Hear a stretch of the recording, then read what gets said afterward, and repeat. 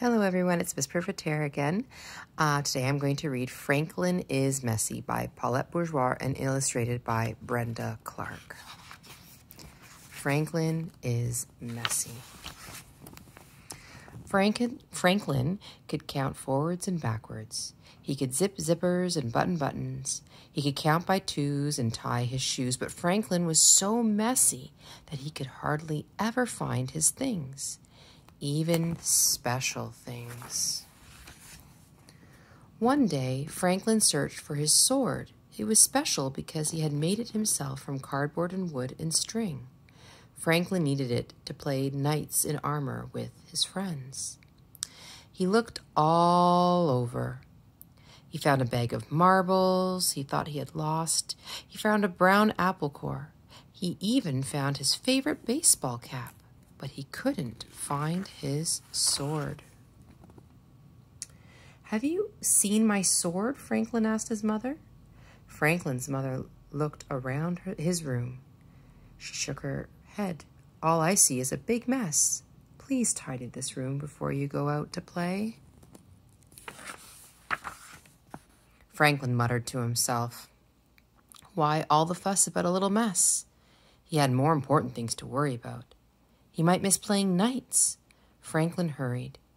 He opened his closet and heaped on an armful of books I'm inside. He piled all his blocks in the middle of his room. He threw his cap in the corner, and he put the apple core in a drawer. All done, he said to himself. Still, he hadn't found his sword. By the time Franklin reached Bear's house, his friends had already uh, played, sorry, by the time Franklin reached Bear's house, his friends were already playing knights in armor. Bear slashed the air with his sword. Beaver lunged at evil dragons. Hurry, Franklin, shouted Bear. We need you. I can't, whispered Franklin. The game stopped. Why not? they asked. I don't have my sword said Franklin. Bear was disappointed. But how can we play knights without swords? he asked. Franklin looked around. He found a stick on the ground. I'll use this, he said. They fought dragons all afternoon. Tomorrow, said Franklin, I will have my own sword. Then we can save Lady Beaver from a fire breathing dragon. We are courageous, Sir Franklin and Sir Bear. Beaver slapped her tail down hard. Want to be saved. I want to be a brave knight too. All right, said Franklin. You can be Sir Lady Beaver, and together we will save the king. You'll need your special sword, said Bear. Of course, said Franklin. When Franklin got home, his father was annoyed. I found this in your drawer, he said, holding the apple core. That is not where it belongs. And I found this cap on the floor. That's not where it belongs either. Franklin threw the apple in the uh, garbage and hung up his cap. Why all this fuss about a little mess? Goose came by looking for a puzzle she had loaned to Franklin. Can I please have my puzzle back? she said. Franklin looked. His room was such a mess that he couldn't see the puzzle among the books and crayons and blocks. Maybe it's in my closet, said Franklin. Franklin opened the closet door. It was messy in there, too. He stepped inside. Crunch! It was a very loud noise.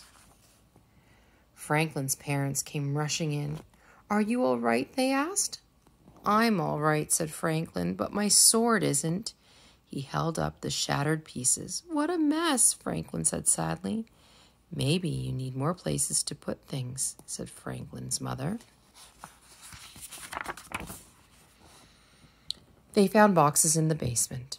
They painted them and named them toy box, puzzle box, costume box, block box. They put books on the bookshelf. Then they put a special hook on the back of the door for a new sword. The tidying up took a long time, but it wasn't so bad because Franklin found a lot of things he thought he'd lost Goose's puzzle, his own favorite purple crayon, and enough cardboard, wood, and string to make a new sword and even a shield. The next morning, Franklin dressed in full armor. He was especially proud of his new shield. It said, Sir Franklin, loyal and brave. Sir Franklin, said his mother, I think you forgot something. Franklin's mother whispered in his ear. Franklin smiled. They took a crayon and added two more words to the shield. Sir Franklin, loyal and brave and neat. The end. I hope you enjoyed that. Until next time, have a great day.